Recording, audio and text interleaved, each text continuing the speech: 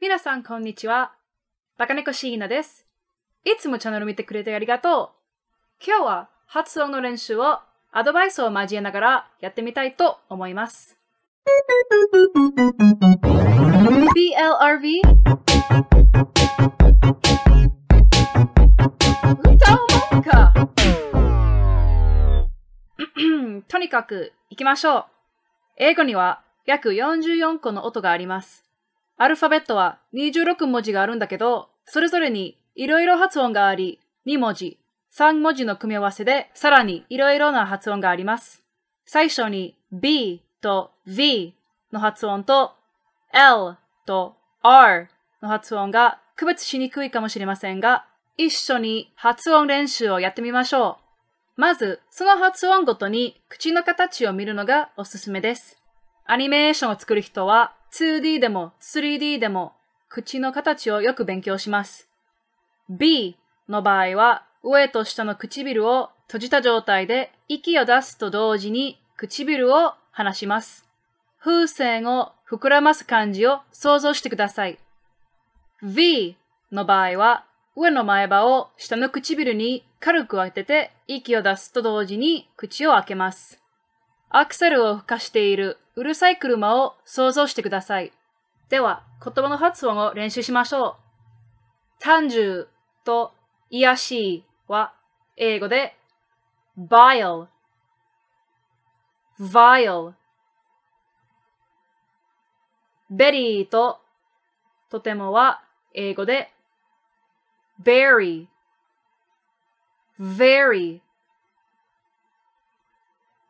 バリーさんと変わるは英語で vary, vary 飲み物、社格、可変、不質 beverage,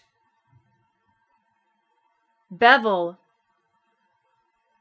variable, vestibule 次は間違いやすい L と R です。L の場合、口をちょっとだけ開けた状態で、下は上の前歯に当て息を出します。口は延長形をして、ラララを歌っていることを想像してください。R の場合は、口を丸くして息を出します。唇をキスより広く開けます。口は丸の形をして吠えそうな犬を想像してください。では、言葉の発音練習です。銭湯と読む。lead, read なまりと読んだ。led, red 光と右。light, right 歌詞、識字能力、本当に、現実。lyrics,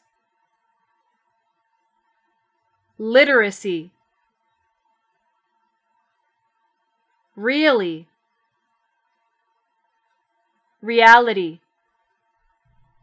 最後に th の発音です。さでもない、たでもない。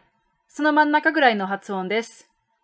F と似てるんですが、F とどう違うかというと、F の場合は上の前歯は下の唇にくっつけたままで息を出します。th の場合、口はちょっと開けたままで、下は上の前歯を触れた状態で息を出す。では、発音練習です。公平とそこ。fair, there 太いとそれ fat, that 戦ったと考えた fought, thought お父さんより遠い泥棒。だから、father, further, thief, therefore. さあ、どうでしたかぜひぜひコメントをくださいね。今日もご視聴ありがとうございました。